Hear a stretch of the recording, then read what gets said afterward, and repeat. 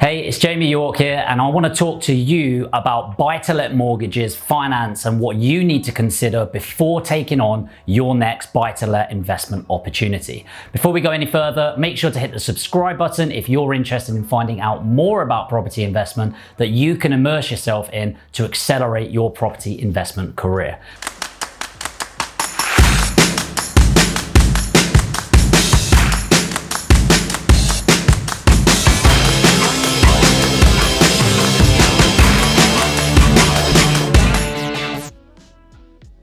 So, what is a buy-to-let mortgage and why is it important to watch this video all the way through?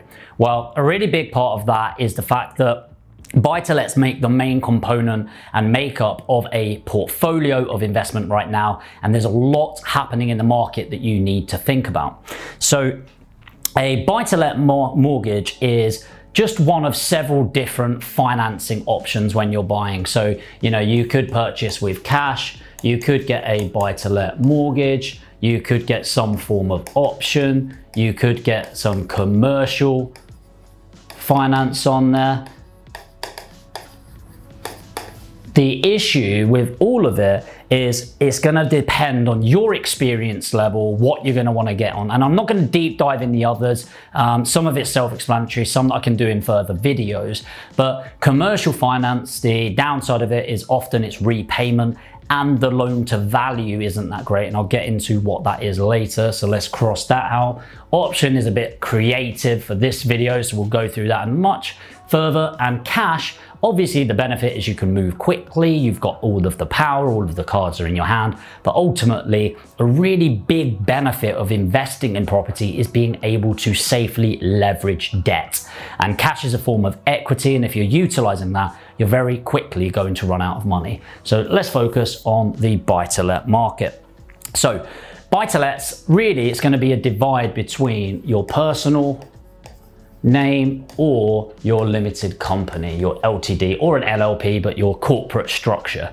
So there's pros and cons of both. So originally, if you go back about two years, we're in 2020 right now, but if we go back to 2018, most of the tax benefits out there from owning property were pretty much all in personal name. So you could um, stick some furniture in the property and then you could depreciate that against your value of putting in your property. You could do additions to your property or improvements to your property and off-write your rental um, income for years to come uh, and a multitude of other things as well.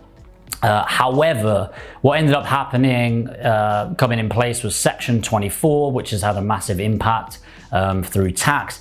And in your personal name, what the government decided to do is decide that the interest that you're earning, or sorry, your interest as a cost would no longer count as a legitimate cost. So if you end up becoming a high taxpayer, a lot of people, it's not tax beneficial to own it in your personal name. A lot of people, and obviously check with your own uh, financial advisor or your accountant to work this out. But a lot of people, you're getting most of the tax benefit from being in a limited company. Why is that important? It's because a couple of years ago, there weren't many lenders that were lending to limited companies because pretty much most of the market was in your personal name. So most people, I'm not saying everyone, this is not financial advice at all, uh, will end up buying in your personal name. The problem is, it's quite difficult purchasing a limited company if you don't have any personal landlord experience as well. So this is not giving financial advice. This is just what most advisors would do. Typically, you would purchase the first one to four properties in your personal name.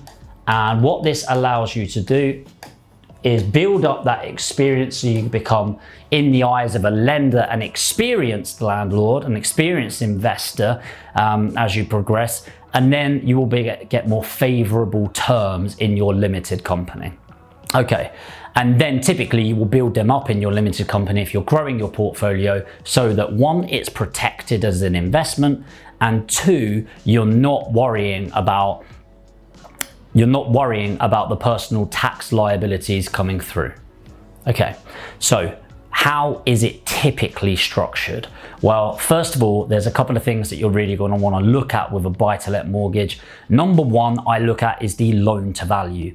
So at the moment, during filming this, we're going through COVID-19, coronavirus, and loan to values have been thrown all over the place. But typically what you're looking at is 75% loan to value. Okay, and what that means is on a £100,000 purchase, I'm likely to need to put in 25% or a £25,000 deposit. On that, let's say it's a 100K purchase, you're gonna put in £25,000 deposit and you're going to need to put in around 75% loan, okay? So that's gonna be debt, as in a mortgage. And then often what people are trying to do is leverage as much as possible. So you can sometimes get 80% loan to value where you only need to put in 20 grand.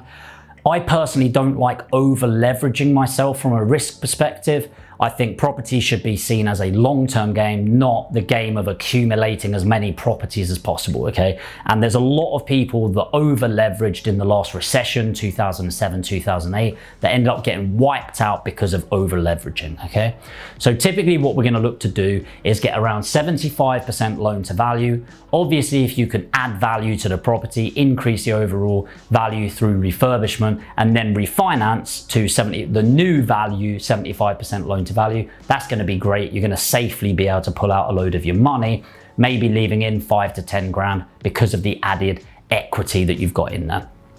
The next thing that you want to consider is the lendability. Okay, so the lendability is what people are going to look at what the lenders are going to look at to make sure you are lendable. And what that's going to do is they're going to look at how much you are earning as an individual compared to the mortgage rates, okay? So typically it's gonna be how much it's costing you over, um, over the year, and then it's gonna be compared against what you're looking at, but also as a multiplier of the rent coming in. Now, most lenders will lend about 125 or 130% of the mortgage rate. I like to do 150%. Let me just explain that a second, okay? So if I'm looking at, let's say 150, if you're 130%, you're gonna be safe from a lending point of view. I just like looking at it as 150% to make sure I'm extra conservative and protecting myself. Let's say the mortgage is going to cost 500 pounds per month. What I'm looking for is the rent has to be a minimum of 150% or times that by 1.5 meant to be a 5, 1.5, and um, which is going to be 750. If it's much less than 750, then there's not much movement in terms of management fees, void periods, maintenance. Uh, not a lot has to go wrong to turn that asset, that paying asset, into a liability. Okay, so we're going to be making sure that we've got that lendability criteria ticked off. You need to get your own financial advice, whether it's going to be in a company or a uh, your personal name. A lot of people go, well, if you put it in your company, you're protected by the limited structure. Often that's not the case because the bank's going to ask for a PG, which is a personal guarantee, which means that they can come after you personally if you screw up anyway. Okay, so the protection level is probably not there as much as you would think by putting it in a company. The final thing you're going to want to know is what the interest rates are. Actually, it's not the final thing. The second penultimate thing you want to know is the interest rates. So when I say interest rates, I don't actually mean the interest rate of what you're getting now because right now you might get a 1.72% interest rate and it's like, wow, that's really cheap. But you also want to look at the lifetime interest rates. You know, interest rates, this was before I was investing in property, were as high as 15%. Okay, now is it realistic to go that way consistently? No, but you probably want to look at a long-term average. So I personally think anywhere between 5 and 6% as a protective method. And I'm not saying you look at it and go, is that a good return? But if it were 5 to 6%, would it still be looking after itself? Would it be washing its face? Would it be a good investment? Would it be adding money to your bank rather than taking away each month? Okay, you're really going to want to look at that as a yearly interest. and then factoring in that in your calculations as much as possible. Okay, then maybe one of the final things that I would look at is the entry and exit.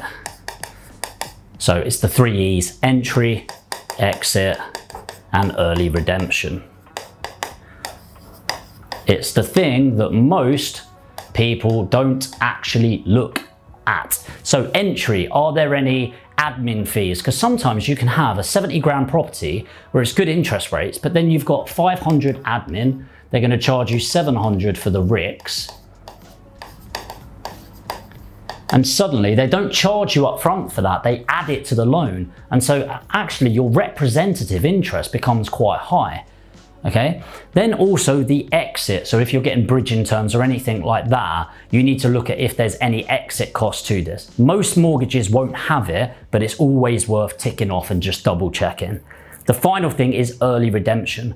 Most people, if you're buying a property below market value, you're going to want to go in, refurbish the property, add value, and then refinance to pull your money out. Most, most lenders have a two year early redemption penalty. It's not to say don't go with the lender if you're intending on refinancing. It's just understand that it's a £1,500 or a grand or two grand so you can factor it into your calculations. This is something even experienced property investors miss out on, okay? And it's really worth knowing because if you're intending on refinancing and going again and you're expecting a certain amount, and you miss that actually it's going to be two grand less, then that's really going to impact you as much as possible. So I think number one is look at your tax structure, you know, get some financial advice on whether it's better to buy in your personal and or your limited company. I think a strategy that is quite common for most is to own, you know, between one and four in your personal name on current tax structures. And obviously they change all the time and it depends on your financial situation. So please get independent financial advice for this but structuring it in that way, then you're going to be looking at the loan to value, typically 75% uh, to 80%, but most of the time 75% loan to value. You want to get your interest rates as best as possible. Always look at the long term, typically 5 to 6%. And then you want to take account of the three E's when you're going in. So it's the entry cost, the exit cost, and any early redemption figures. And that is everything that I can think of that you're going to want to think about up front when you're looking at your buy to let mortgages. Hopefully that's been really helpful, guys. What I'm going to be doing doing in separate videos moving forward is I'm going to be sharing my calculators, our calculators in the business, and I might even give you the opportunity to get a copy of that. So if you're interested in finding out more, make sure to hit the subscribe button to, for, to get more videos like this. Make sure to smash the like button as well and leave a comment and I'll make sure to reply to everyone. I'll see you in the next video.